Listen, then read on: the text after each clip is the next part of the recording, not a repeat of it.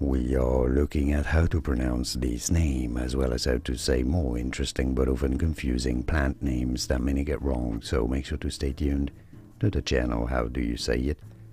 Pieris. Pieris.